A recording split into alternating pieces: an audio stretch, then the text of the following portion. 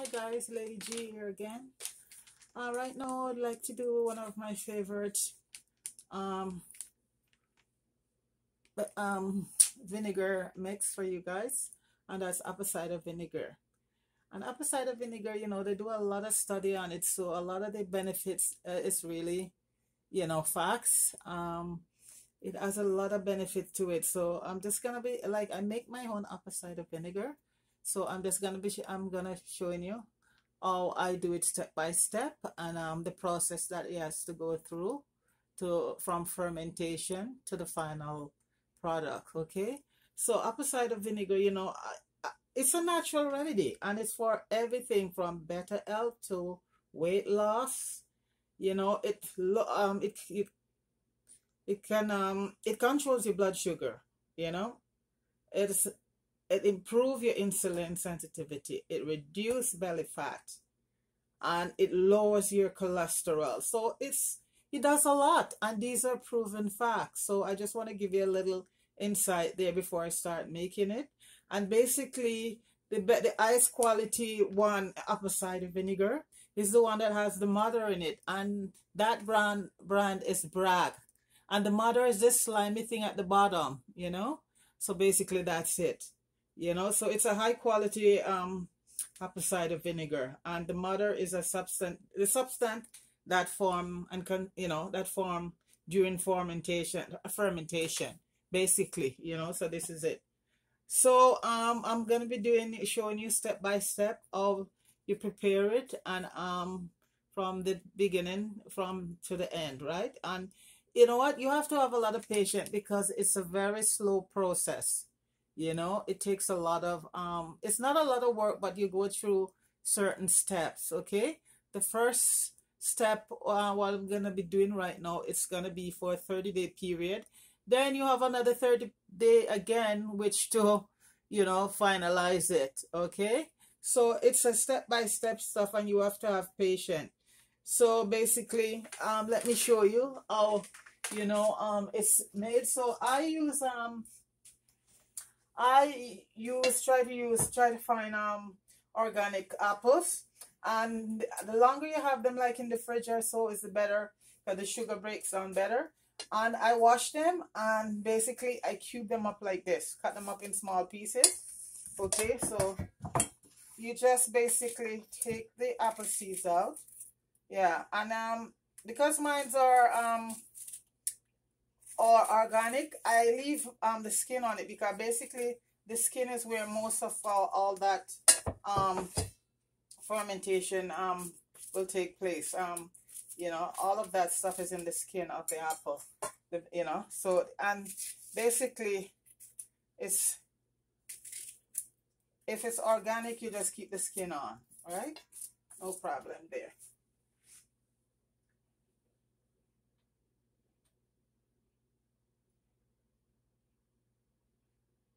I will be right back. And apple cider vinegar, apple cider vinegar, you know, is an acidic. It's an acetic acid, and that's what make it works, you know. That's the acid, sort of like the one you have in your stomach, like for um hydrochloric, hydrochloric acid in your stomach. But it's a good acid, you know. This is the good one, yeah and it helps with a lot of stuff. It helps with weight loss. It helps. It's very good at proven in diabetes. It lowers your sugar, and also with high blood pressure. It lowers it lower your blood pressure. I think it's 30 milligram you take um with some water, dilute it in some water, and you drink that before you go to bed at night. And in the morning, first thing you drink uh, another glass on an empty stomach. You know, drink it on an empty stomach and wait for about 30 minutes to heat anything. To let the acid in it work, start to work in it on your stomach, you know. And it's a good um weight loss helper, you know. It um cuts your appetite. So that's the reason they said to take it on an empty stomach uh, in the morning. And when, before you go to bed too, and also help you to sleep better because I take a drink it at night and go to bed. It, it helps you to sleep better, especially if you're a person that find it very hard to fall asleep. You know, so apple cider, it has a lot of benefit there, you know.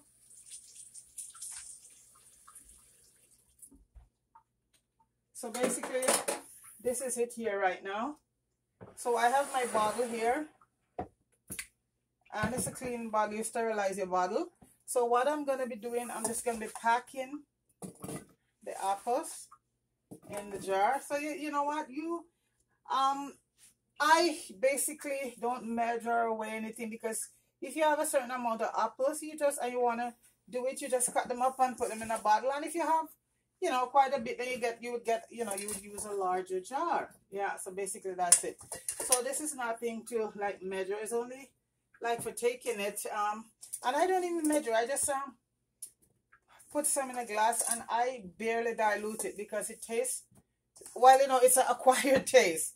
But it tastes very good. It tastes very good. Maybe because I'm drinking it for a long time, but I barely, I hardly ever dilute it. I just drink it like that, you know, so so this is it. So um, it's a acquired taste of time.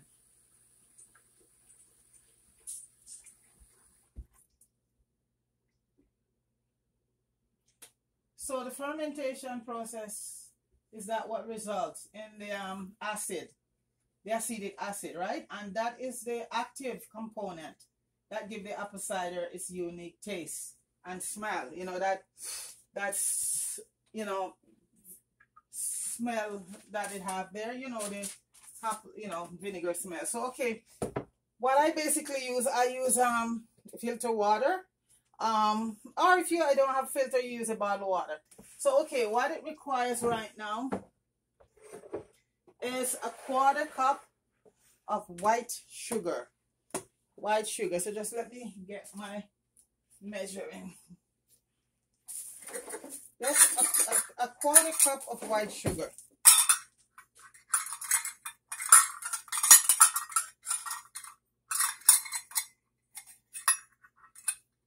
Half, a half a cup, half a cup of white sugar.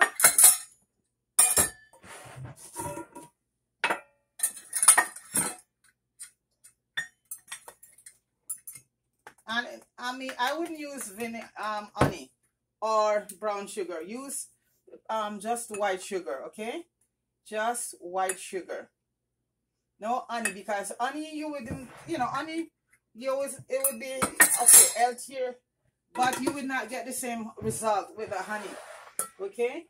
So basically you have your half a spoon of sugar right there now. Let's get these out of the way. And you're gonna add you need your wooden spoon right now you're to have the water and the waters have to be above the apples. All the way above the apple.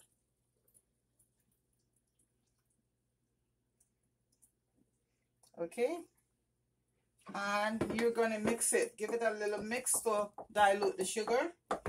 So just give it a good mix.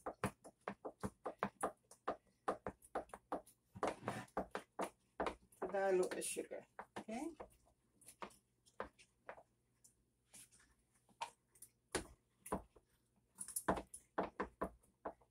Okay, basically that's it. Okay. And you're not going to be using this to cover it, right? Because in order for it to work, you need a breathable um, cover on it. So either a piece of cotton cloth or a coffee filter on it. And then you put a rubber band on it. I'll just show you. Let me just grab my coffee filter. Coffee filter? Okay.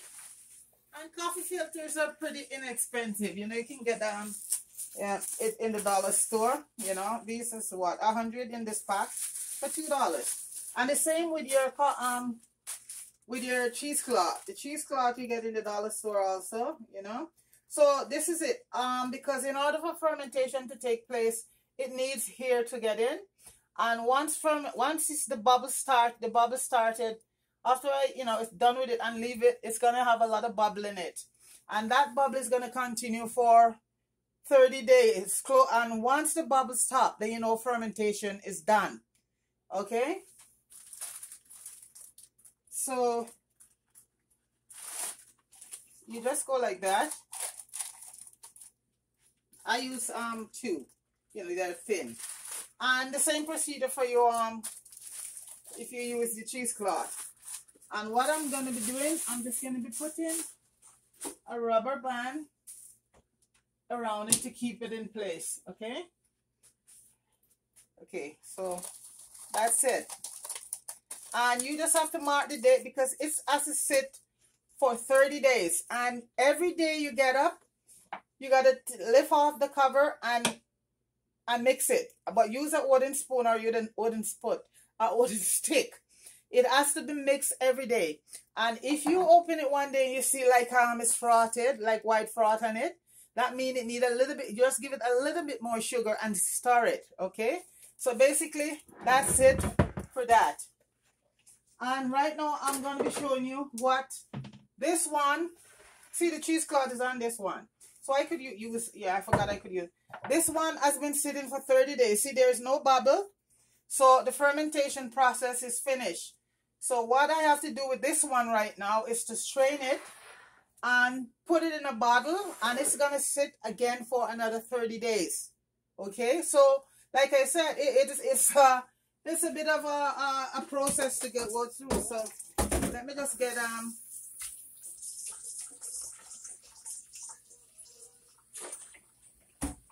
my thing. So I'm just going to get my strainer and, and strain it. So this one is there for a whole month, for 30 days. So it's ready. And if you notice, there's no bubble and you see the color. Yeah. So I am going to be straining it right now and then put it in a bottle, another um sterilized bottle. And it's going to be sitting for another 30 days.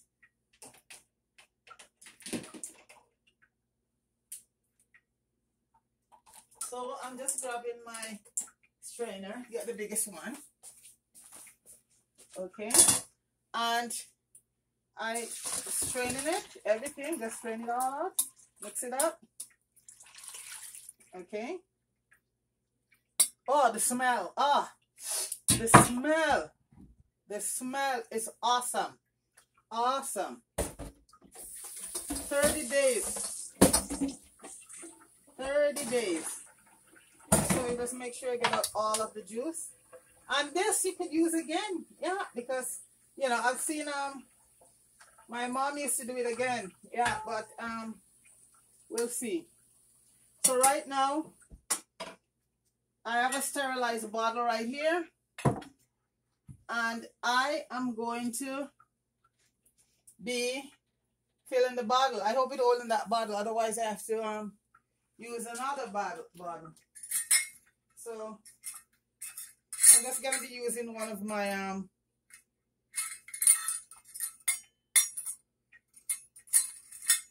oh, come on. Gonna be using one of my oops, let's use one. This is, is clean, so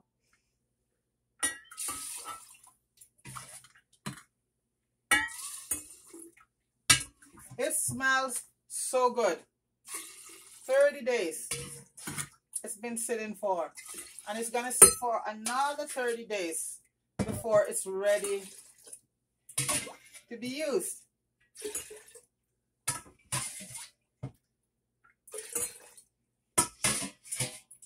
Yes apple cider is very good for um, high blood pressure. It lowers it lower your blood pressure.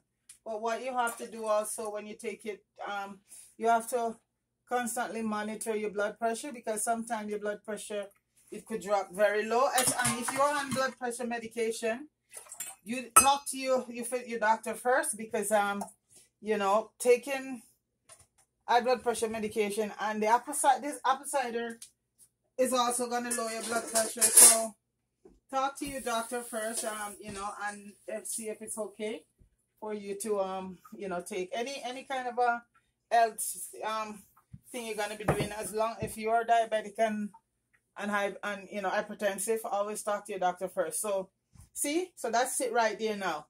This one can be closed all the way down, right? and it's gonna be sitting for 30 days. And after that 30 days it's ready. So you see? It's a process here. This one is just done. I think I'm gonna use the cheesecloth yeah I'll use the cheesecloth on it because the cheesecloth is much uh, yeah I use the cheesecloth so guys this is the one that I just finished. This is the one that was sitting for 30 days. And ironically this is bragg. This is the name brand. And what I do I always keep a bottle of bragg because um I use apple cider vinegar so often. So sometimes I run out. So I always make sure I have this one is the store brand but this is the best one bragg and it's raw and felted um you know and this is the one that I've with mother you see? And that's the slime in the bottom. So these are one that were done already and these can be used. I did this one you know these ones already and I've been using these ones. And if you really look at it the bragg one to mine it's the same identical thing. Yeah. So these ones these ones you're already that one I just did. It's gonna sit but so remember every day you got to lift this off and use your wooden spoon and stir it um you know just stir it around and then you close it back okay? So that's basically is it right there. So this one I just did. That's one finished 30 days and it's going to be sitting for another 30 days. This is the store brand. These ones are mine that I did and ready to use I have quite a few bottles because I make it a lot so this is the store brand bragg. That's mine. That's the one I'm going to be sitting for another 30 days. And that's the one here I just finished doing. Apple cider vinegar. And basically, that's how you make it. And as I said before, apple cider vinegar is very good for you, you know. It does a lot. It can, you know, it helps to keep your insulin in control. It um it keeps your blood pressure low. And basically, um, if you want to test, eh, the pH level should be at 3.3. So you could um, order an Amazon pH strip. But because I'm doing it for so long, I know exactly, you know, when it's um at its, you know, when it's done. But for people, if you're a beginner, you just buy your pH strip. And when you test, your pH strip should be 3.3 to 3.5.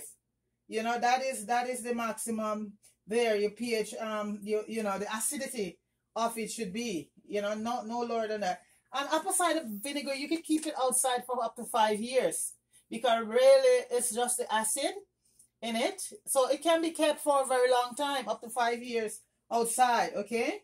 It lowers your blood sugar, it helps with weight loss. It's easily broke down protein. It helps to release bile from the liver. It, it does a lot of good stuff. It controls pathogens. Oh my gosh.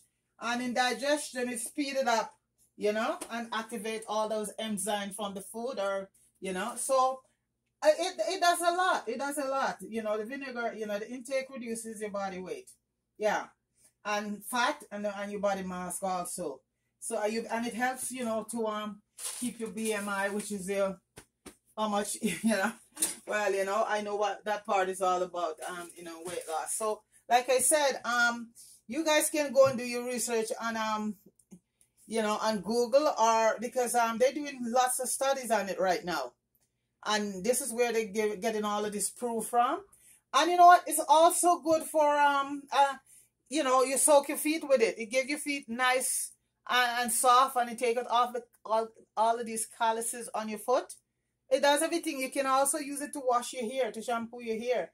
But the most benefit I find with it, it helps you in weight weight loss reduction. Um, but you have to really, you know, not just drink it alone because, uh, you know, you have to try to cut down, you know, on a lot of stuff and exercise. Do, do, do some exercise.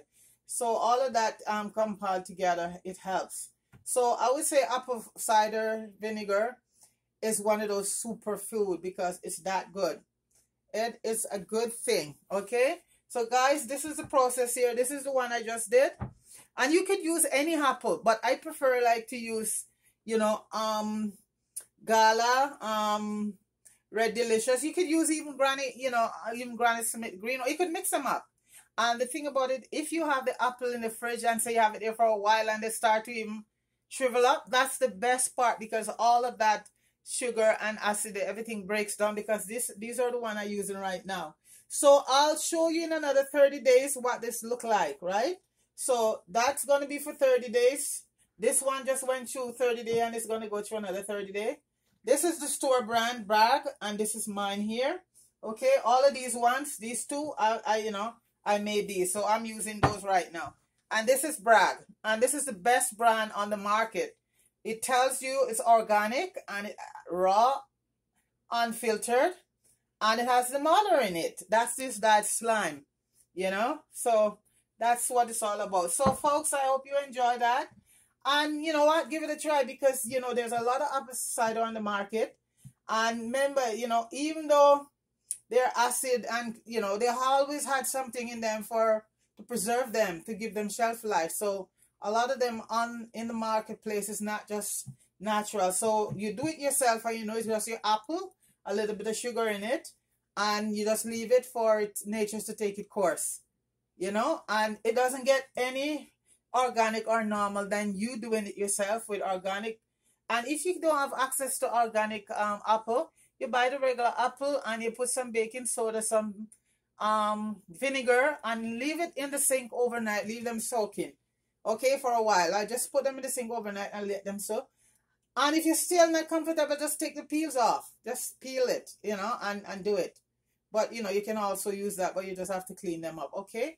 So, folks, um, I hope you like this video. And if you do, you can share it with someone and um, push the thumbs up and subscribe, okay? Thanks.